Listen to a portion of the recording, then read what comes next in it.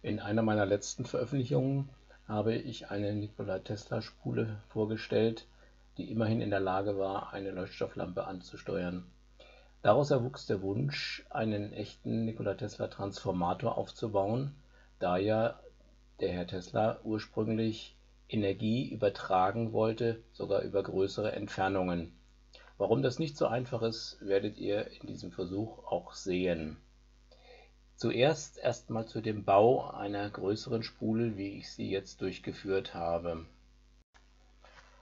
Während ich die erste Tesla-Spule noch auf einem alten Besenstiel gewickelt habe, auch in einer Länge von ca. 20 cm, aber mit relativ dickem Draht, habe ich jetzt ein Kunststoffrohr mit 5 cm Durchmesser gewählt, äh, habe auf diesen mit einem Trick einer Bohrmaschine, die über eine Phasenanschnittsteuerung geregelt ist, einen langsam drehenden Zylinder gebaut und dort äh, mit etwas Fingerspitzengefühl und den Daumen als Führung ca. 700 Windungen 0,3 mm Kupferlackdraht aufgebracht.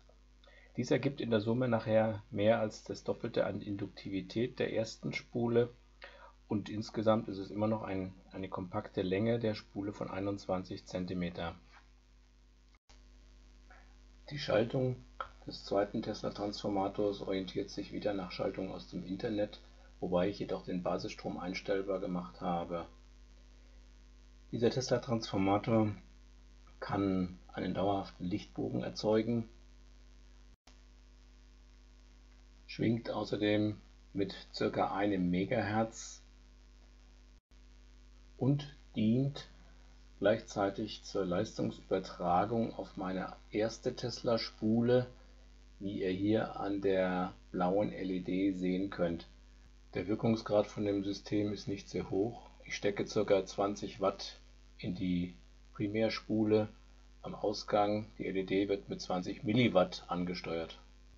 Neben dem Lichtbogen kann ich jetzt aber immer noch eine Leuchtstofflampe mit ansteuern was mir den starken Leistungszuwachs gegenüber der ersten Lösung aufzeigt. Noch ein wichtiger Hinweis an euch, den ich sonst im Internet selten finde bei dieser Versuchsanordnung. Der Plasmastrahl entzündet Papier und Holz in Kürze. Außerdem produziert diese Versuchsanordnung Radiostörungen bis in den WLAN-Bereich hinein und man löst sensorgesteuerte Schalter im Haus aus, wie Rollladensteuerung und äh, Lampen, die über einen Touchsensor gesteuert werden. Wenn euch mein Beitrag gefallen hat, würde ich mich über ein Like freuen. Bis bald.